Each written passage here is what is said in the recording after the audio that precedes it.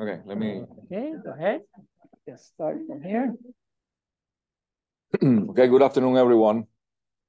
It is my my pleasure and privilege to uh, introduce to you Dr. Father Alfred Cioffi, who's going to talk about, as a continuation to our series of lectures that uh, we started off last week, right? Um, discussing a top, two important topics like bioethics and critical thinking.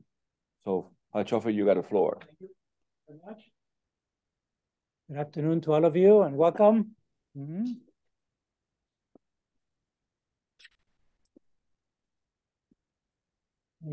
I'm going to minimize the tile here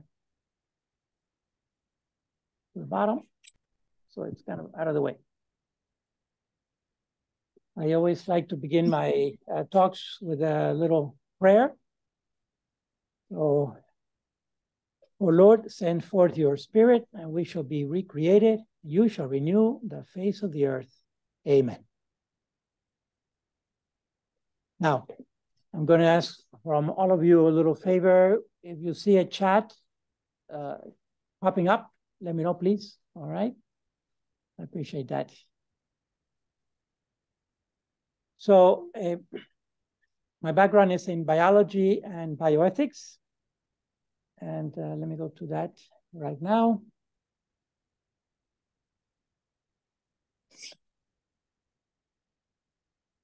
Just for the academic purpose, I have a uh, doctorate in uh, moral theology from the Gregorian University in Rome and a doctorate in uh, genetics from Purdue.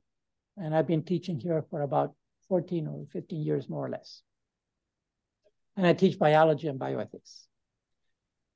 Now, the talk for today is bioethics as uh, engaging in critical thinking. Mm -hmm. And you can see that bioethics is a compound word. Many times in these topics, you get a little added value of learning a little bit of uh, Latin and Greek along the way, because uh, many modern languages are based in Latin, and Latin comes from the Greek. And also this concept of um, compound words. We have part of biology and a part of ethics. And these two disciplines, in principle, have nothing to do with each other.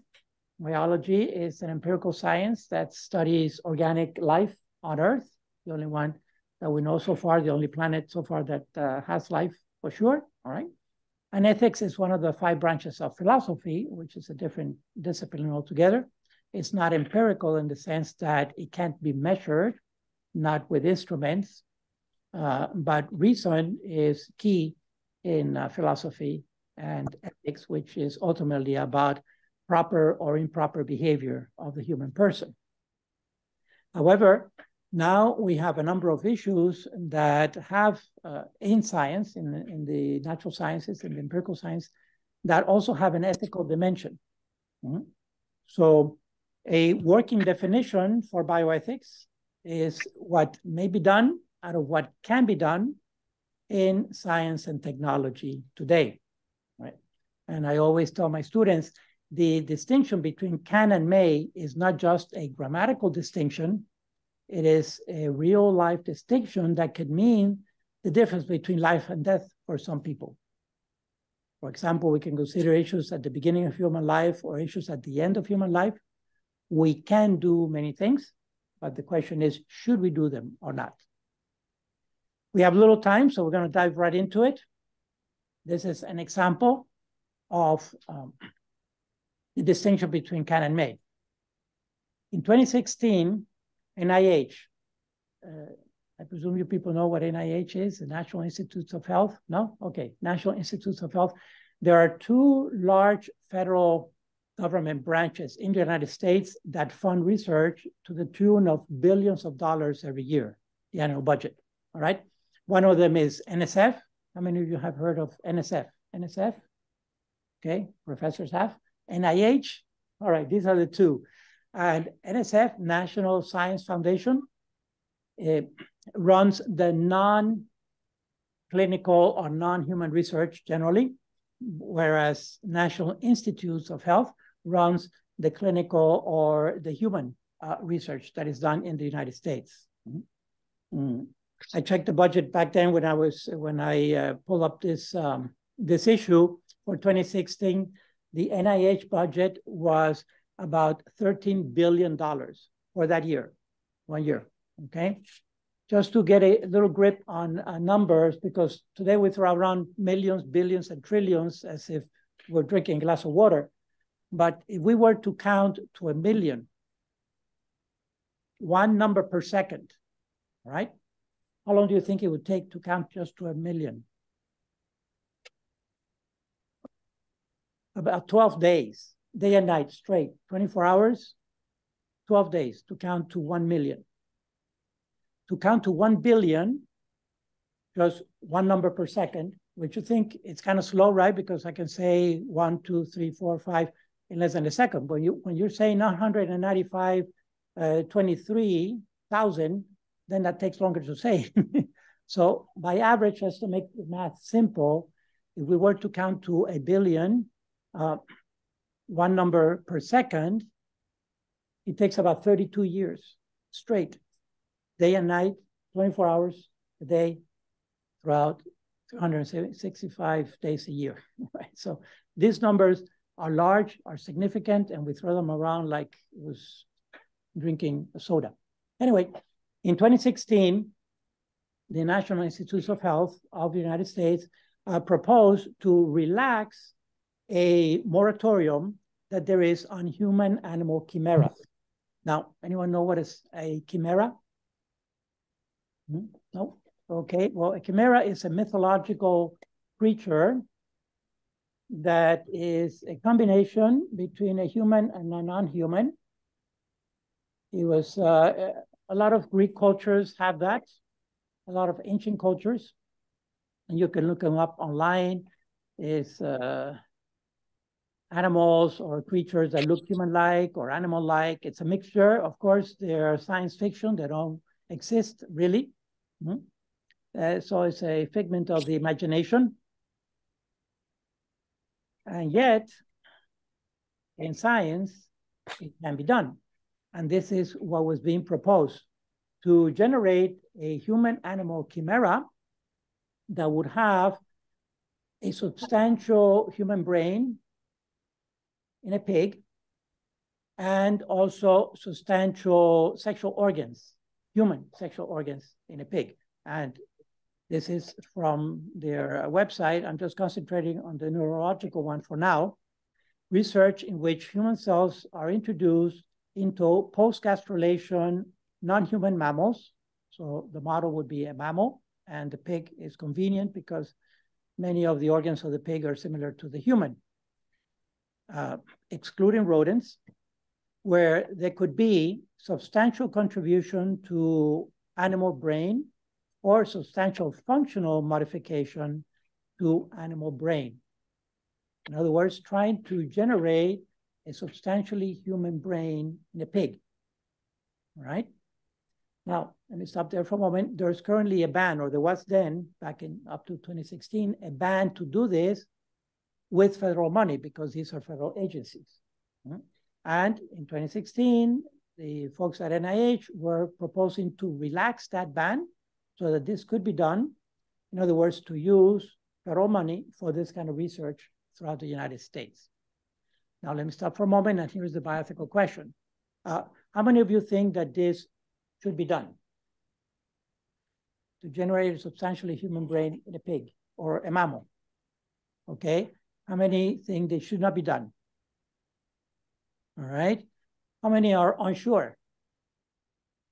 And the rest don't care. Yes.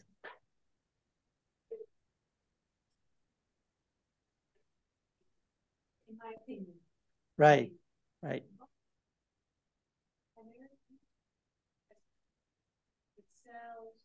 Maybe with uh, organ and tissue kind of development, they use pig valves for a human arm. Right. Exactly. Different scales. Yes. Okay, this part's okay. Some, there's some kind of line, like you will discuss that, I'm sure, there's always a line of like, okay, uh, getting too much. Right, exactly. Dr. Tapanes is referring that there is a lot of research that is done in animals that then may be translated into clinical research, clinical trials for humans, and vice versa. And the classical one is, of course, pig valves for the heart, precisely because the pig heart is very similar to uh, the human heart, right? In fact, there was a transplant of an entire pig heart into a human a few months ago mm, for the first time. Right. And if you big valves to people, maybe they could be on human valve.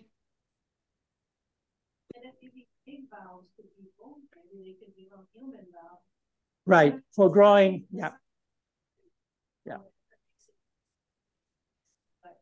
right, exactly. So exactly. So a lot of it's called xenotransplantation between human and non-human, all right? And there's a lot of research going on in there. Part of the issue is immune rejection of these organs because they're identified by the body as a foreign object and so forth. But uh, yes, you're right. There's a lot of research going there. That's why we have to stick to a specific issue and try to define it as narrowly as possible. And this is their text, right? This idea of generating a substantially human brain in a mammal that is not the rodent.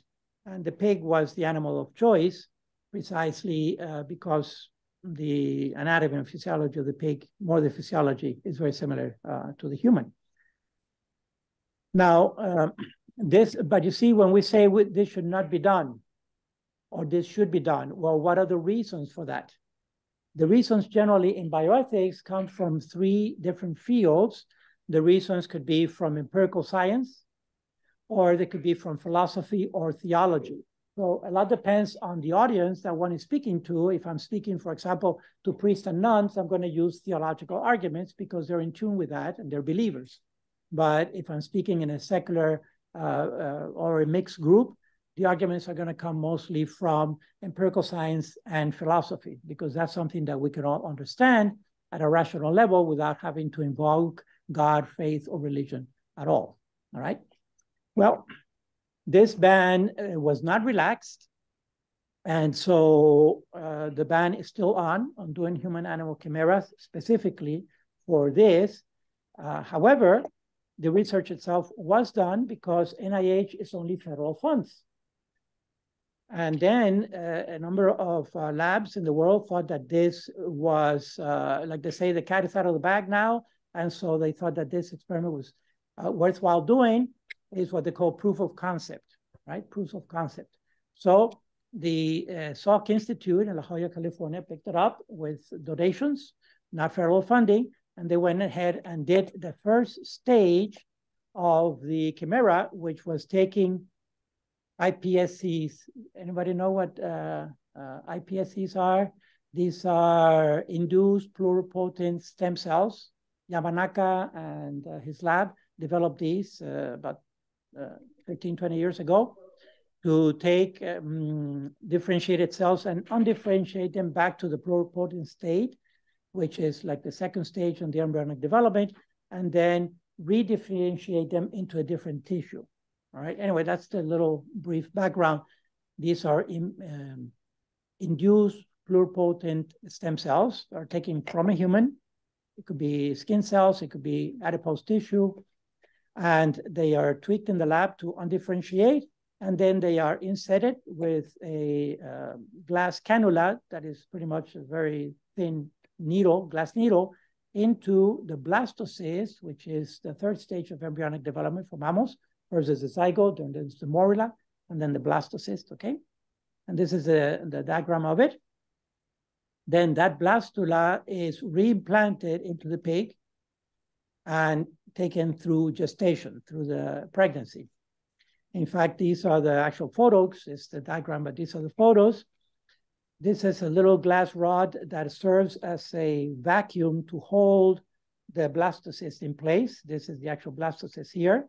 You can see the outer layer, uh, which is known as the uh, trophectoderm or trophoblast. And then this little mass of cells here inside is called the inner cell mass, for lack of imagination. the mass of cells inside the blastocyst is called the ICM or inner cell mass. This is what becomes the embryo proper in mammals. All right, this is what becomes the embryo proper.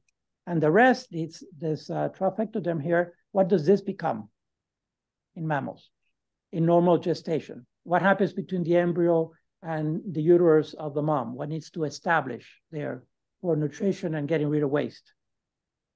The placenta, the placenta, umbilical cord and placenta, right? So the outer layer becomes the placenta and the embryo is here. Tell me about chats, please. Okay, thank you. So, and here's the little cannula coming with the individual cells, the pluripotent cells. The hole has already been punctured through. And so this cannula will insert these cells, these human cells, into the pig embryo. And then this blastocyst implanted into, uh, I think they're called sow, right? Is a sow, is a female pig. And here's the actual uh, fetus several weeks later. I don't know how, how far it went. But of course, they did not take this uh, fetus to term, right? So it was uh, euthanized uh, before the full gestation period.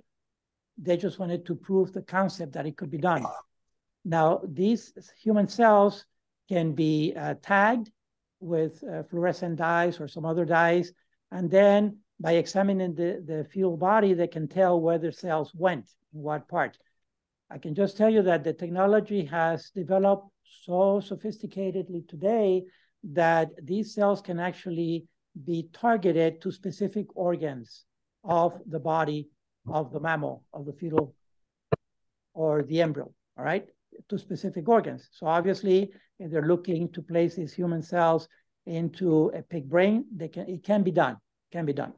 So that's the question. It can be done. But may it be done? Should it be done? Before you answer yourself that question, play this forward. If it's done, imagine a human waking up one day and realizing that he or she is inside a pig. Because where's the seat of consciousness? The seat of consciousness is in the brain. And so if we grow a substantially human brain in a pig, it could be there's a potential for that human brain to start thinking like a human and realizing they're inside the body of a pig. Now, there should be something that is revolting about that in humanity, that that is a cruelty to that human that in there, right? And we should not do that. So you see, the arguments come from philosophy and science of what can be done and what may be done, what should be done. So that's bioethics.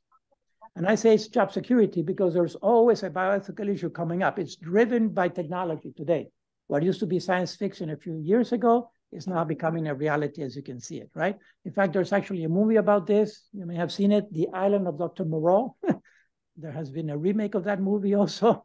Uh, this Dr. Moreau went to this island and started making these chimeras, which then got wild and the whole thing went south, as they say.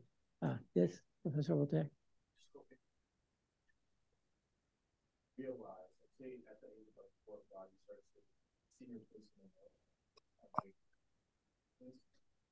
Um, so I'm wondering, like, would there really be a problem?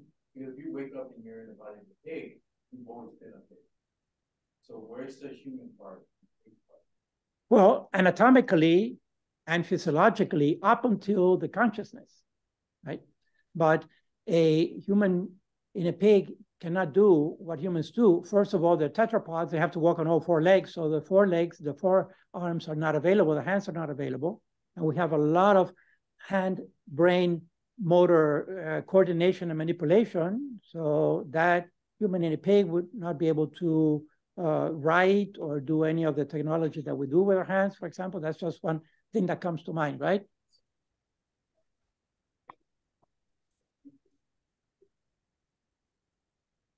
do we have a right to it? Does that, does that human have a right to speak to other humans, for example? It's got a pig vocal cord. So we're denying that person the speech, the human speech. I, I don't think you're saying, but I, it's like, I don't, do they know that there's stuff? Because you're not missing. If I were, if I were a human and I became a pig, yeah, then, right. Right. Okay. Yep.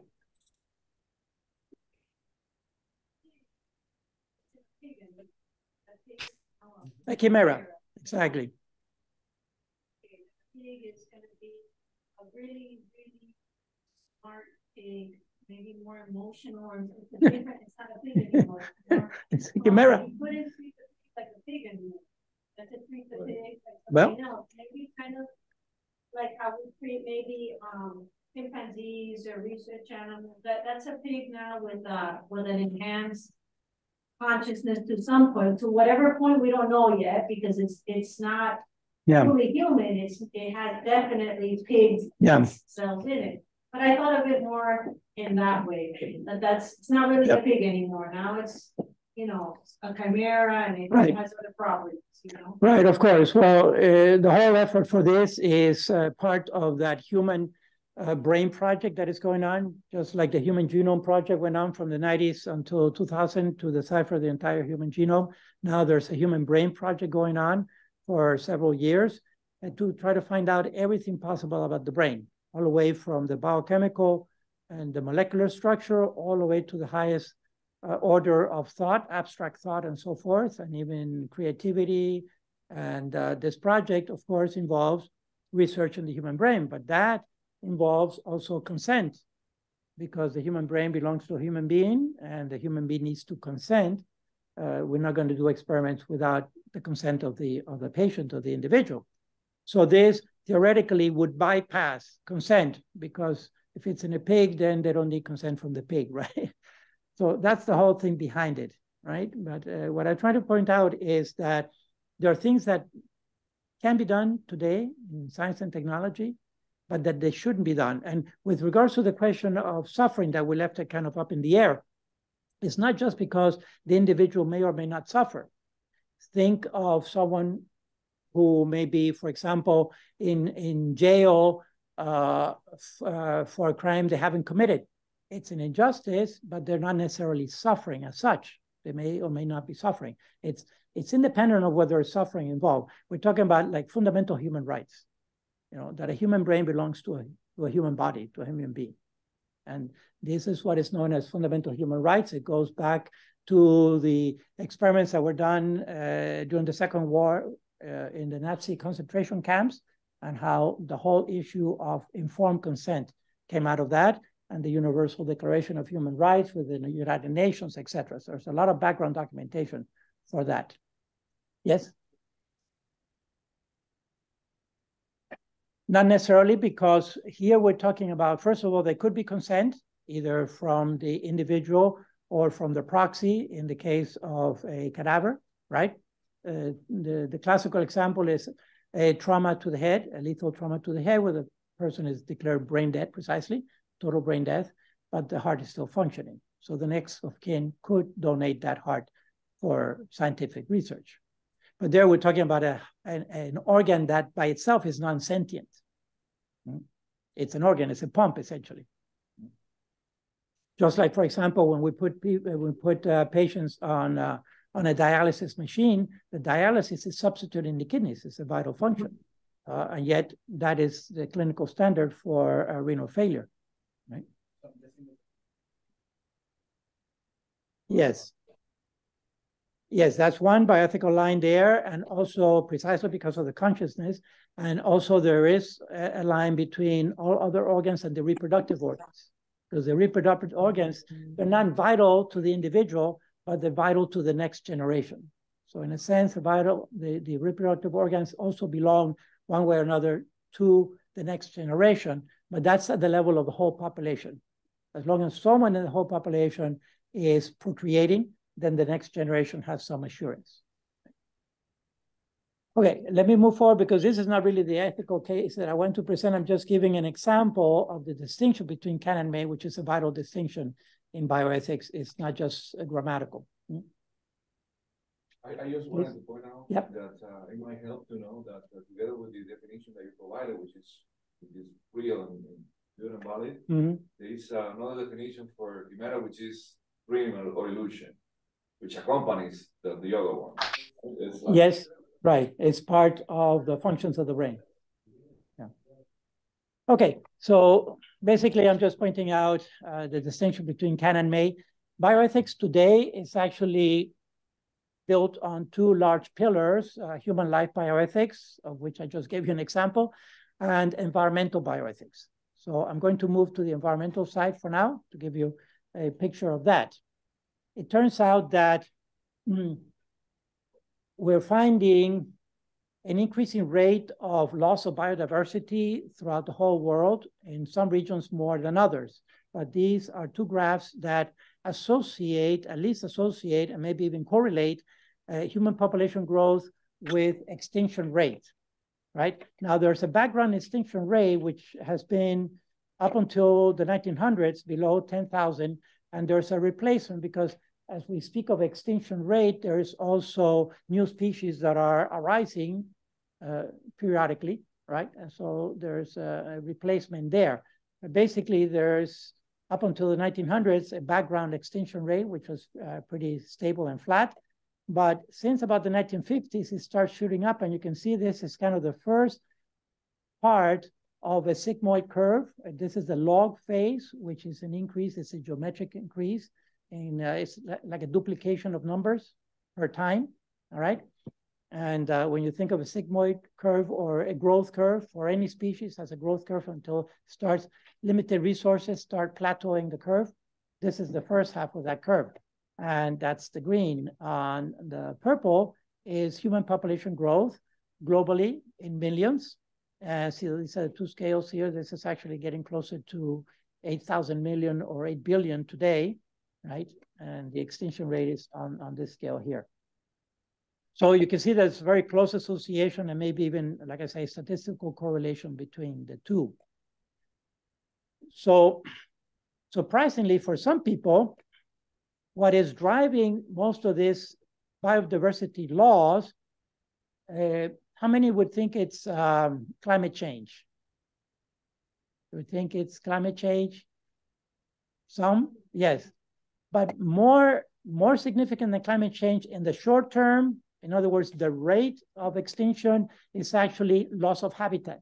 It's more crucial right now because climate change, one way or another, is still kind of long to middle range in time, right? Decades, hundreds of years, thousands. In fact, climate is typically measured in thousands or even millions of years, not weather, but climate. Hmm? Uh, so loss of habitat because the animals and plants have to live somewhere, right? And so loss of habitat worldwide is more critical and uh, associated closely to loss of biodiversity. This is uh, one map that is showing that at the global level, the going from the uh, deeper blue color all the way to uh, dark red. Deeper blue is where there is less loss or least loss of biodiversity worldwide. You can see it's mostly two swaths the northern, uh, you notice that most of the land masses in the northern hemisphere of the world anyway, the equator is somewhere around here. I should have put a line on the equator, but most of the land masses are in the northern hemisphere. So basically, mm, Alaska, Canada, and Siberia getting close to what would be the Arctic Circle up north, and then another swath here around the equator precisely, because uh, that's where we have the largest biodiversity with tropical rainforests. Uh, Latin America, the Amazon basin, here the Congo basin in Africa, and then the Southeast uh, Polynesian islands. There's the greatest biodiversity of plants and animals throughout the whole world, so the tropical regions. And then the hotspots for biodiversity loss are in the temperate regions, uh, North America, um, Asia, and then the southern tip of Africa, Australia. This is because most of the central of Australia is a desert. It's a huge desert, very dry. And the southern part of South America, which is more densely populated. Hmm. Just Buenos Aires, for example, which is the capital of Argentina, has over 10 million people. Those large cities, by the way, they call uh, megalopolis, and I'll talk about them in a minute. The big three for uh, habitat loss and throughout the world are residential development, agriculture, and also industry, the industrial footprint where the actual factories are, right? Those are the three big ones for loss of biodiversity. And this is very graphic. You can see from photographs exactly how uh, these uh, areas have been carved out of natural areas. Therefore, a concept that has emerged is a concept of the urban forest. See, because we also have to live somewhere, and not only plants and animals, we also have to live somewhere. And so the concept of the urban forest, for example, Central Park in New York, I don't know if you've ever been there, but there it is, right in the middle of the um, concrete jungle. And also Sydney has a Central Park of its own downtown. This concept of the urban forest actually goes back to about 200 years the, with the Chinese Empire. The Chinese archipelago, I, am sorry, Japan. Japan is an archipelago that has about 13,000 islands in it, but most of the islands are uninhabited because they don't have fresh water, okay? And they're smaller, and therefore they, they, they're not inhabited by humans. But uh, Tokyo is, and uh, this concept of the urban forest was started there, like I said, about 200 years ago. And this is one of the entrances to their forest.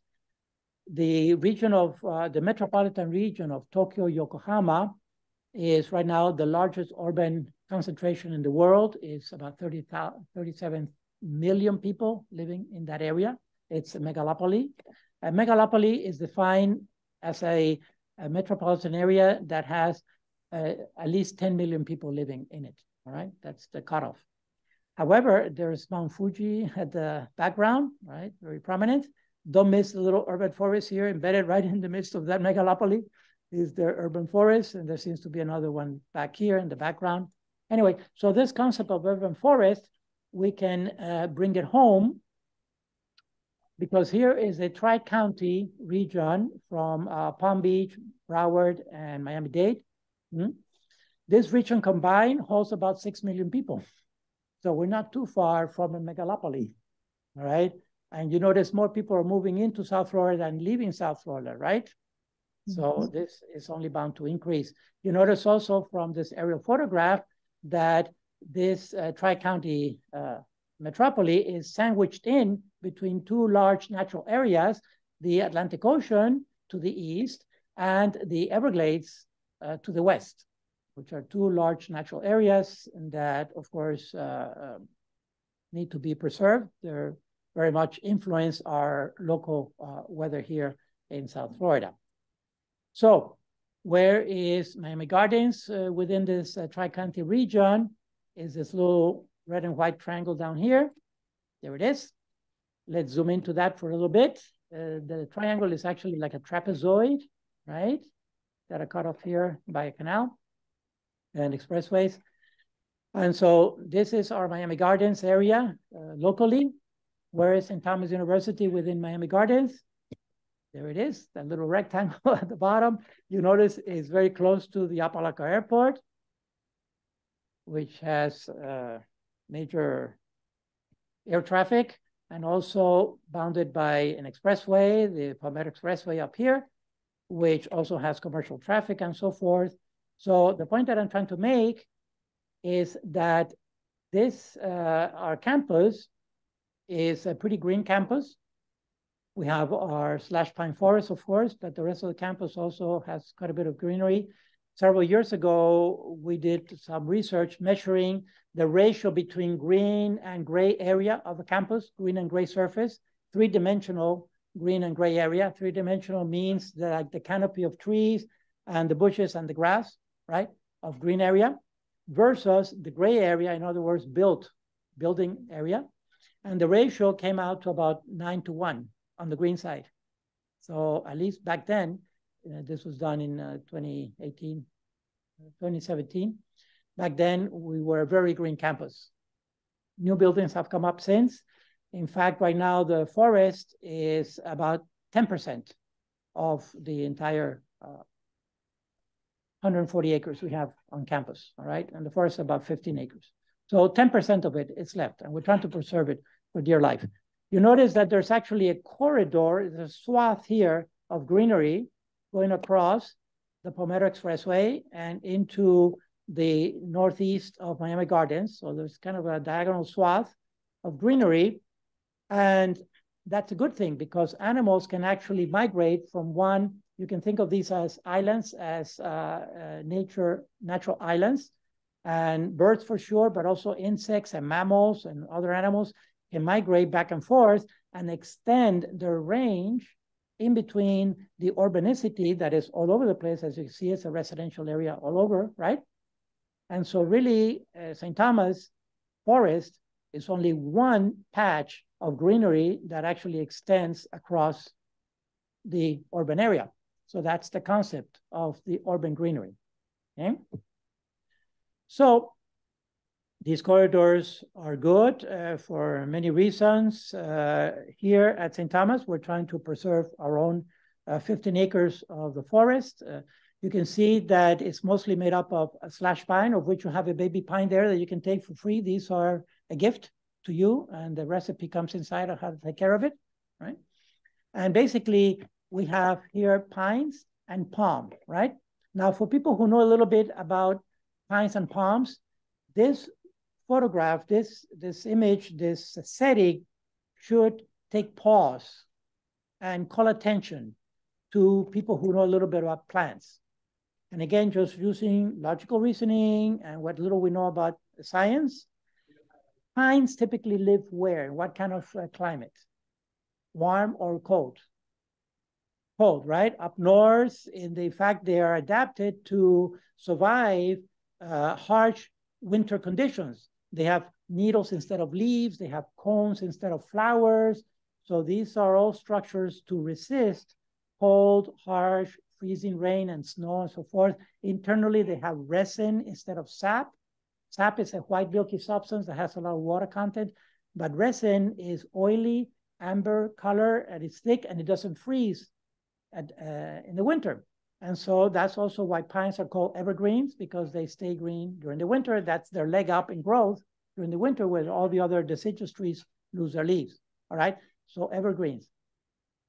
Palms, on the other hand, don't tolerate any degree of cold whatsoever. You get out of Florida and you left the palms behind because palms don't tolerate much degree of uh, cold at all. All right, they freeze and burn and die. So when you see pine and palm together, you should take note that this is a unique site. It's a rare event and it's happening naturally in our forest.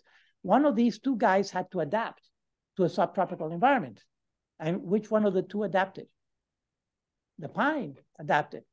So when did it adapt? It adapted about 10 to 12,000 years ago, which was when we had the last ice age. We've had five ice ages go on, uh, on the Earth, uh, the Northern Hemisphere, uh, in the past half million years. And the last one receded about 10 to 12,000 years ago.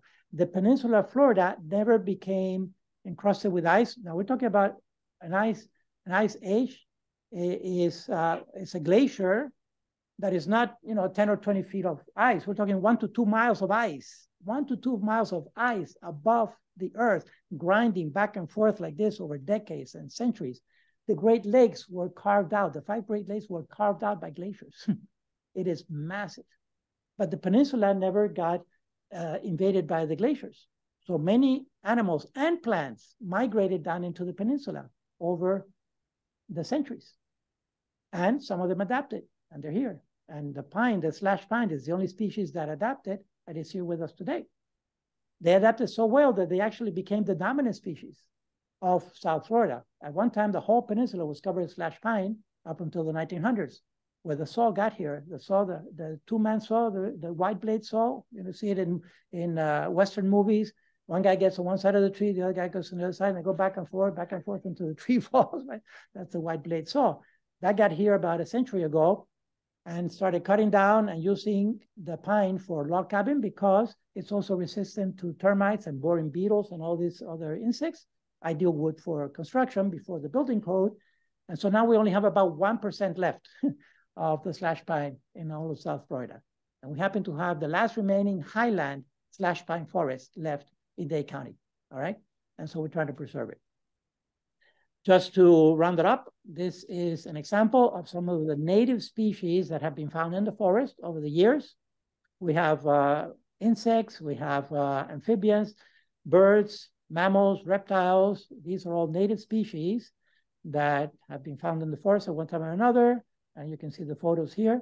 So uh, I conclude with this, that is worth preserving. We have our own little niche of biodiversity, right, in our own forest. And this is a contribution not only to Miami Gardens, but to Miami-Dade County and even the Tri-County area of that whole metropolitan region. So thank you very much for your attention. This is a sunset from the second story of the Gus overlooking our forest and uh, something that is for all of us uh, to enjoy right here on our campus. Thanks again for your participation. Any questions or comments? Uh, there's a chat. Thank you. Okay. Let's go to the chat. Beautiful. Okay. Dr. Taran. Thank you. Thank you, Dr. Taran. Appreciate it. We do have snakes on campus. Uh, lots of them. We have. Yep. Yes. Non non poisonous, non poisonous. We have uh, garter snakes. We have racers. Here's a corn snake. Ring snakes. Uh, ring snakes. Uh, they're very pretty. Uh, I love snakes. and uh, they're non-poisonous so far. We haven't found any cottonmouth or uh, rattlers in here, even though there are in South Florida, but not here. Most snakes are actually shy, and the first thing is most animals are shy, and they run away from us like there's no tomorrow because we are the most dangerous species on earth. and so an instinct tells them, run away from that bipedal creature over there. the two-legged creature, stay away. okay, but uh, we have foxes, we have falcons, uh, we're increasing the butterfly population because we're bringing back native species of plants. Part of the project, part of the restoration project that we're doing is uh, to get rid of the invasive species and to reintroduce native species to increase the biodiversity. Mm -hmm. And so that also brings more wildlife into the area, keeping it contained within the 15 acres of the forest, which is on the northern part of campus. So we have uh, an increasing number of butterflies coming into the area now that are feeding on the different uh, uh, flowers uh, that we have. Yeah. No chat, yes. Okay. Oh, you, thank you. Father, I had a question also. Yes. Yes. Um, you were speaking about um keeping the area like around STU diverse and as far as like the nature and preserving it, um, and ways to like reverse that. I know we just have like the 10 acres of the forest that's there. Um, besides the like other things that we can do to also preserve or is there a way to like reverse the um, the degradation of the biodiversity so that like besides the area around STU, like other areas that have less of the the biodiversity so that other areas can also um, reverse the process i'm wondering you know yes sister thank you Ref, for your question yes it's a multi-layered question of course uh, we can do many things to reverse the biodiversity I want to say this first, that nature has a built-in mechanism to restore itself in abundance, in excess. Uh, for example, this photo here is uh, from the Gus. Actually, the, the Gus building is uh, just to the right of the photo. All right, so this is what we call it the business sector. Every time we clear an area, we call it a sector. And then the building, the business building is right next to it. So this is the business sector. You see the little red flags down here? These are plant species that we have reintroduced, native plants that were locally extinct, and we are reintroducing. We're associated with Fairchild Tropical Gardens, for example, and another conservation effort, uh, the um, Regional Conservation um, Institute in Florida. So many different things uh, to be done. For example, to try to minimize the, the pollution that goes into an area the contamination, right? To raise awareness, to dedicate, for example, areas. Oh, what I want to say about, because I lost a train of thought. When we cleared this area, this area was full of invasive trees, huge trees from all over the world that were here, from uh, Asia, Latin America, Africa, Australia, in, even India.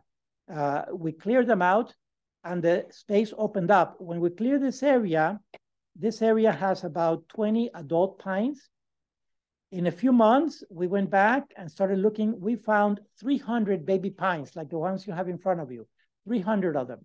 So what is replacement? If there are 20 adult pines in this business sector, which is kind of an oval, all right, there are 20 adult pines. What is replacement number for those 20? Let me break it down. How many children does it take to replace our two parents? Two children, right? two children to replace two parents, two adults. Right, so that's replacement. It would take 20 pines to replace the 20 adult pines that are there. And we found 300 baby pines, 300 seedlings. At, at, at, that's just on the first year of seedling. The second year will be another 300. So there's an overabundance. Nature is that way because most of the animals and plants will not make it. Like a, a fish will lay out thousands of eggs, but that fish only needs one of those eggs to survive to adulthood to replace it, right? Or him or her. And so there's an overabundance. In fact, that was one of Darwin's uh, five observations for developing his theory of evolution, is the overabundance of progeny. Therefore, back to sister's question, if we leave an area alone by itself, it will restore. It will restore. Sometimes we may need to help, it, especially at the vegetation level, at the plant level, because if some species are locally extinct, right, then we have to reintroduce them and that will increase the biodiversity of the animals. So as long as we put the right plants in place, then the animals will come because the animals are looking for those plants. So remember, the first layer of animals are herbivores, the ones that are feeding on the plants, and then the carnivores or the omnivores will feed on those animals that are feeding on plants. So plants begin the whole cycle of biodiversity. And that's what we concentrate on the plant biodiversity first, and then the animals will come on their own sooner or later. Hmm? Neat, elegant. So many things can be done. You can also, yep, please. Yep. Thank you so much. My pleasure. Thank you.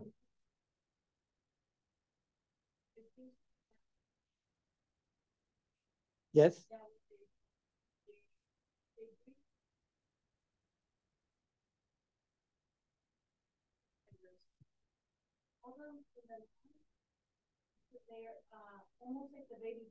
Right. Yeah, juveniles.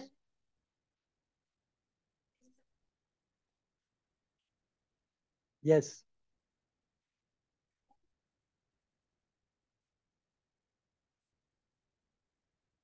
So corals that have the right genetics now live in that area because there's pollution and whatever's going on in that area. Exactly. They have the storage. The coral reefs Exactly. the genetics of the biodiversity. Yes. Right. In fact, from the genetic perspective, uh, geneticists, we see plants and animals and fungi and bacteria as basically as gene bags. So you, we can think of ourselves as a bag of human genes that are walking around, okay?